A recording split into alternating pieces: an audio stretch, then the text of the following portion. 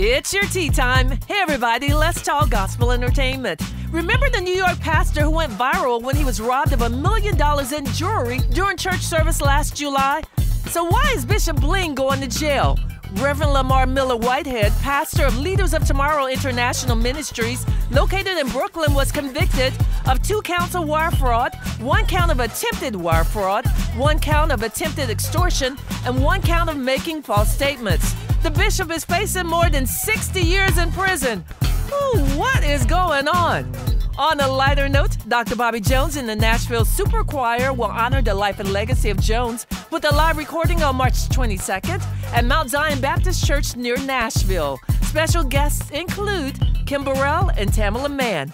That's your gospel entertainment with Tea Time. You know that's me.